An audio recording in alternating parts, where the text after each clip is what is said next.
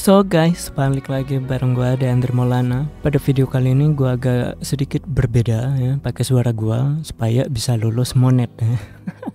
Langsung saja ini dia operator baru dari chapter 13. Namanya adalah Delpin.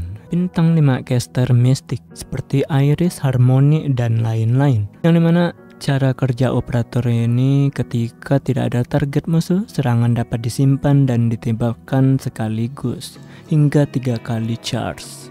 Untuk talent pertama, saat menyerang musuh dengan HP atau darah lebih tinggi dari ambang batas tertentu, damage yang diberikan meningkat.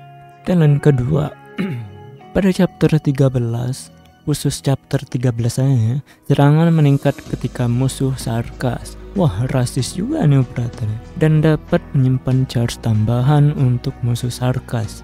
Berarti bisa jadi 4 atau 5 dong ya. Dilihat dari normal kan cuma 3, do 3 doang ya charge-nya.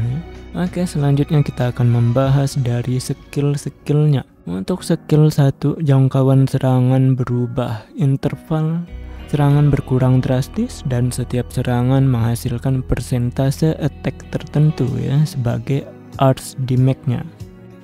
Untuk skill kedua, attack meningkat dan tidak lagi menyerang musuh dengan HP atau darah lebih rendah dari persentase tertentu. Serangan menimbulkan arts DOT yang artinya dapat di stack, memiliki batas, bertahan sampai skillnya selesai.